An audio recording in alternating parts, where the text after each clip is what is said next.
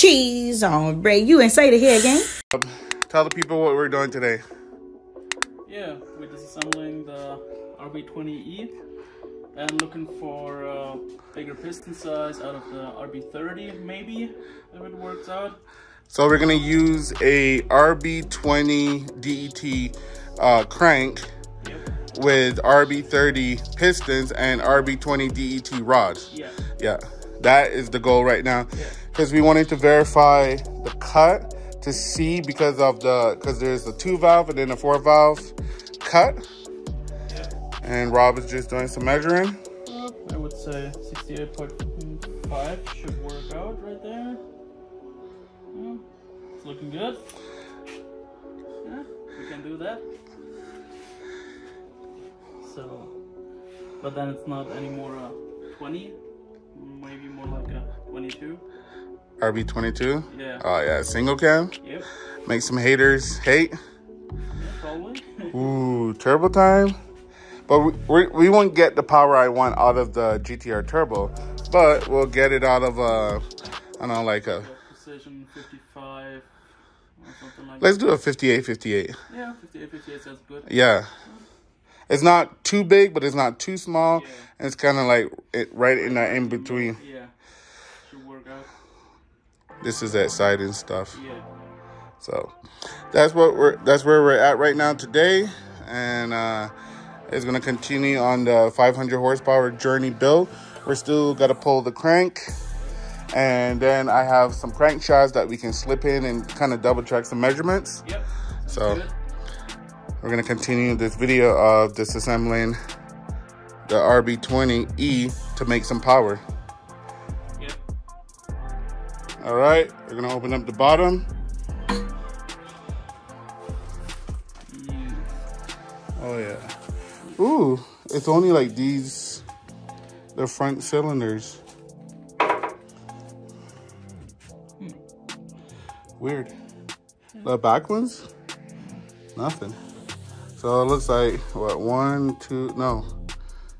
One, two, three, four. Yeah. I get some more cardboard Yep. and then uh but the RB20E does not have a girdle.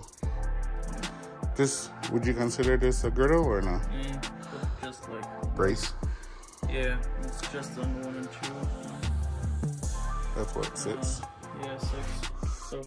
All right, let's get some more cardboard and we can turn it over and let that drop. All right. Yeah. So tell the people what we have here. yeah, we just got the RB20 DET crank inside the RB20E block. Mm-hmm. The uh, main bearings fit perfectly, and now we just found out that the RB20 DET rod bearings are like three mils bigger than the RB20E ones. So drop in a RB20 DET crank, use rods and pistons out of an uh, RB20 DET, and you're good to go. But this also confirms that we can use like a 25 or 26 Yeah. if you if you Yeah. wanted to. Yeah. You just have to have the right um, caps. Yeah, no, the caps. Should, Not the caps, sorry, the bearing. fit, um, probably like the uh, bigger throw of the 25 and 26. Probably collide with the housing. The Like, housing? yeah, you see when I when I rotate it like there. Uh huh. Oh, okay. I, see what you're saying. Put in like a finger. Yeah. So we would have to check. So Yeah. hold on. This is uh, what is this? Seven, six, Six. five, and four. Yeah.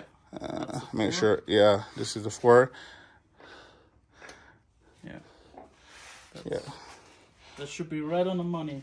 Yeah. And we're gonna reuse all the RB20E. Um. Main caps. Yep. Yeah. So yeah, so this is our solution because to get custom pistons is very expensive and you have to do a group buy. Yeah, absolutely. So I think that's a pretty good and cheap solution. yeah, so I mean I got another crank and another block, so Perfect. you know, might do both at the same time and get it tapped for turbo and stuff like that. So yeah, so if you have any questions uh, in the group, ask this guy. this was his idea, but we're gonna get this. We're gonna order up the pistons and rods to go along with all of this to make sure that it fits. So it's gonna be like a what, a 2.2? Uh, yeah, maybe something like that. Uh, if the walls are thick enough to accept the 86.5 pistons, then we should be like somewhere in between 2.2 and 2.3, somewhere around that ballpark. Yeah, because we're gonna use RB30 um, pistons just because of the way they're cut for the single cam. So we're gonna go with single cam to single cam. That way we can use the RB20 uh, E no DET rods um, to make it happen. So we're making progress. It's slow progress, but we're we're getting there. And I mean, there these blocks are so plentiful. Why not use them? Because over like I have a couple of DET blocks, but I wanted to make sure that we can reuse this block if you have the resources to build it, Yeah. right? Because I've looked, we talked about this last night, and we're trying to figure out different ways to make it affordable as well. yeah so I think that's a pretty good way to make it affordable. yeah, yeah. So everything fits. Everything looks good. I'm at, at siding stuff. Yep. So- have to check the, the thickness of the walls, and then we're good to go. Yeah, we gotta get a tool for that. Yep. All right, cool. Anything else you want to say to the group? No. All right. All right. Talk to you guys later.